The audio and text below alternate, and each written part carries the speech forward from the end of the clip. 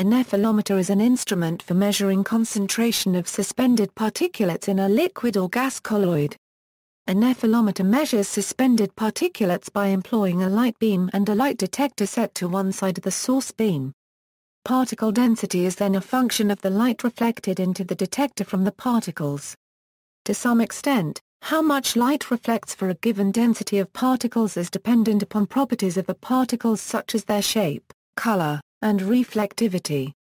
Nephelometers are calibrated to a known particulate, then use environmental factors to compensate lighter or darker colored dusts accordingly.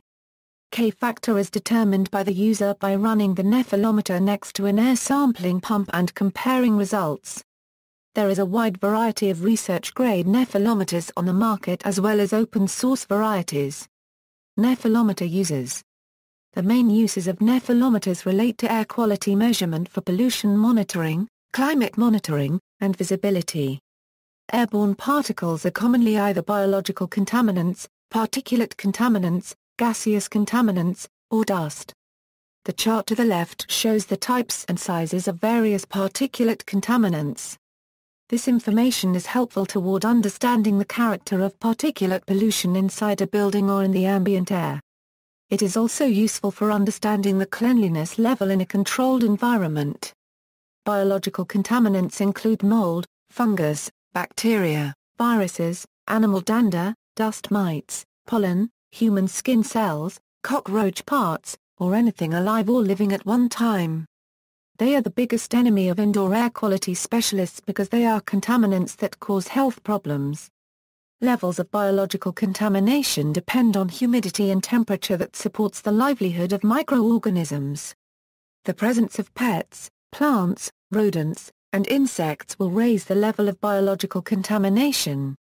Equals sheath air equals, sheath air is clean filtered air that surrounds the aerosol stream to prevent particulates from circulating or depositing within the optic chamber.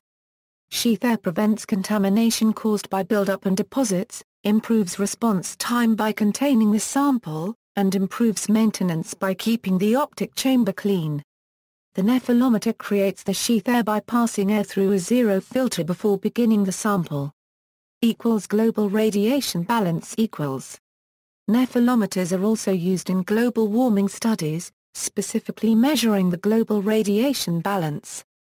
Three wavelength nephelometers fitted with a backscatter shutter can determine the amount of solar radiation that is reflected back into space through dust and particulate matter.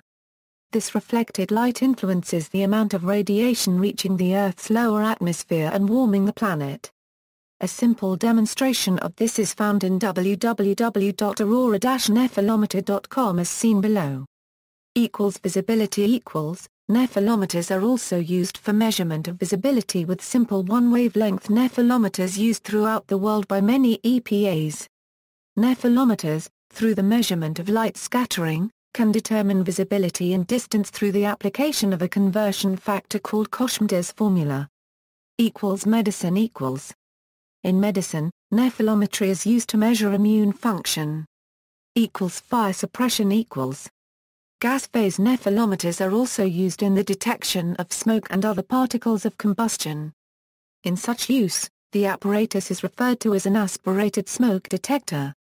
These have the capability to detect extremely low particle concentrations and are therefore highly suitable to protecting sensitive or valuable electronic equipment, such as mainframe computers and telephone switches.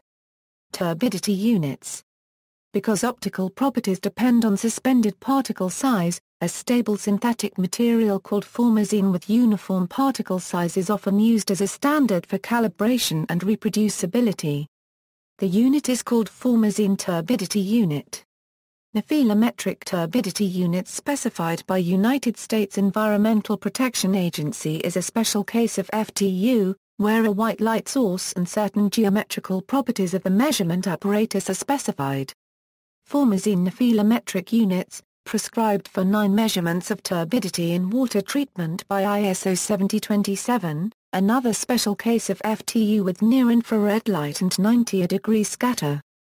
Formazine attenuation units specified by ISO 7027 for water treatment standards for turbidity measurements at 0 a degree, also a special case of FTU.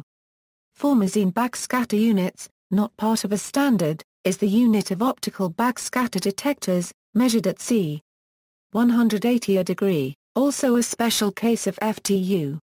European Brewery Convention turbidity units, concentration units, optical density, Jackson candle turbidity units, Helms units, American Society of Brewing Chemists turbidity units, parts per million of standard substance, such as ppmde, Tra 1 quarter Bungseinheit Formazine a German standard, now replaced by the FNU unit, diatomaceous earth an older standard, now obsolete. A more popular term for this instrument in water quality testing is a turbidimeter. However, there can be differences between models of turbidimeters, depending upon the arrangement of the source beam and the detector. A nephelometric turbidimeter always monitors light reflected off the particles and not attenuation due to cloudiness. In the United States environmental monitoring the turbidity standard unit is called nephelometric turbidity units, while the international standard unit is called Formazine nephelometric unit. The most generally applicable unit is Formazine turbidity unit, although different measurement methods can give quite different values as reported in FTU. Gas phase nephelometers are also used to study the atmosphere. These can provide information on visibility and atmospheric albedo. See also, ISO 7027, water purification. Notes